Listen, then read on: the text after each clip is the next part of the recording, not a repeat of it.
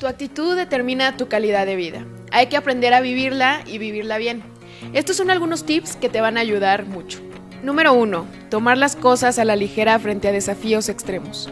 Estar en control y hacer frente a los problemas no significa necesariamente estar serio y mucho menos con el ceño fruncido durante esa situación. Nada mejor que resolver el problema con entusiasmo y buen humor. Sonreír con mucha frecuencia. Con la sonrisa utilizas más músculos faciales, le das luz a tu cara, relajando tu expresión y haciéndote lucir más joven y atractivo, así que a sonreír. Relajarse.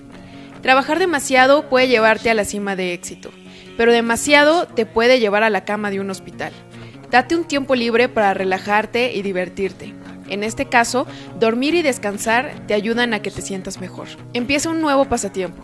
Emprende actividades que ocupen tu tiempo libre, pues un complemento a tu trabajo te dejará algo productivo y no te sentirás culpable.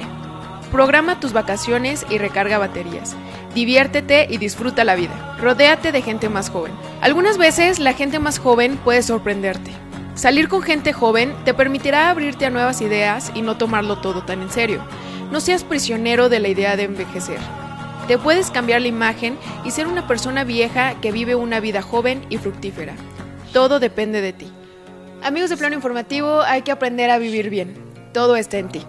Yo soy Brenda Verónica, les invito a que visiten nuestra página de internet www.planoinformativo.com, a que naveguen por nuestras diferentes redes sociales y a que se suscriban a este nuestro canal de YouTube.